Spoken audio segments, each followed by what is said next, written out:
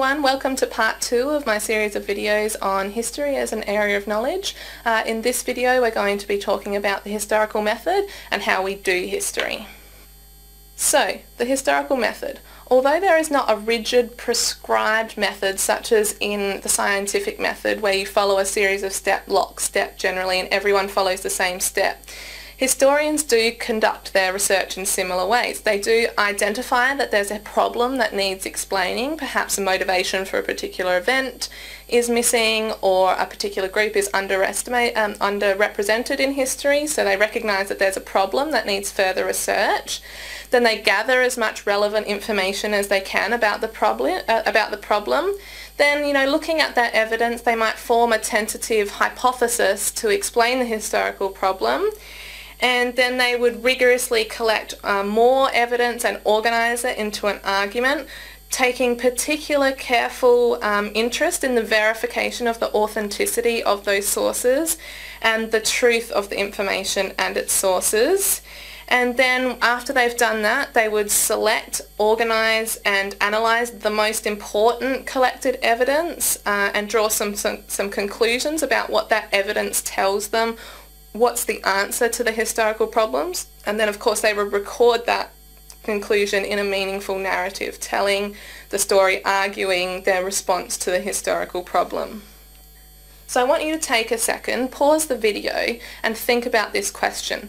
What are the problems that stick out to you in regards to the historical method? Think carefully about the natural sciences uh, method, uh, the scientific method, and see if you can think of any problems that stick out in the historical method. Once you've had a little think about that, start the video again. So just a quick rundown of the important terms that you need to know in history. Basically we have two types of historical sources. Firstly there's primary sources, a document recording or physical object that was produced at or around the time under study. So this might be a newspaper article, it might be a news um, segment uh, on, on the news, it might be journals, eyewitness accounts, um, diaries, letters, photographs, historical artifacts such as clothing, art, literature. So something that was produced at or around, you know, within a couple years of the of the time under study. Then the second type of source is a, six, a secondary source, a second-hand account or interpretation of historical event produced at a later time. So a secondary um, source has usually gotten primary sources together and then synthesized them to produce a new source, such as a textbook, an encyclopedia, a website, something like that. So when we're talking about doing history, we need to examine how historians actually do history. And to do that, we need to talk about uh, academic perspectives and historiography. So most, if not all, academic historians have a particular worldview.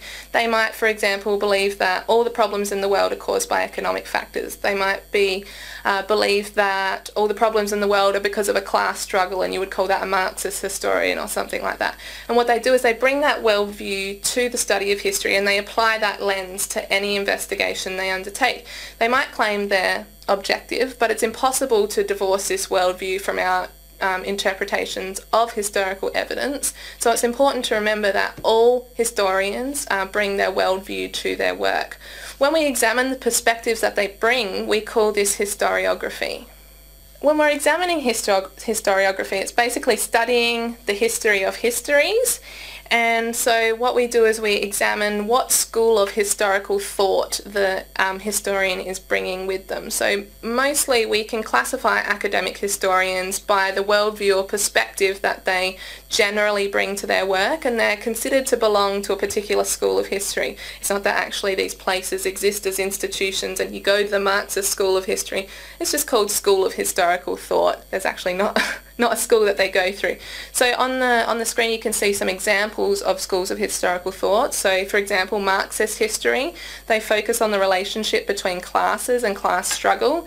There's the Annales school which historical events are part of a larger trend over great time periods so they don't focus on a single event but they focus on the wider context of how history happens in great periods of time There's social history, so that's history from below, focusing on the everyday person or those underrepresented in traditional history, such as women and minorities.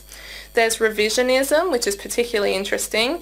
Um, they challenge and reinterpret the orthodox views of a particular event. There's feminist history, so rereading and in many cases rewriting history from the female perspective, particularly when it's been written from the male perspective traditionally.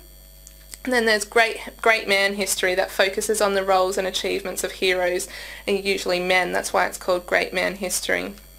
So I hope you've enjoyed my really quick rundown of some of the key concepts involved in history as an area of knowledge. I know that I haven't applied them to any questions or anything like that and you're going to be doing that in class. So um, please just take note of the particular terms that I've used, the particular issues like perspective bias, objectivity, um, and how we examine those through historiography, and bring those along to class ready to discuss.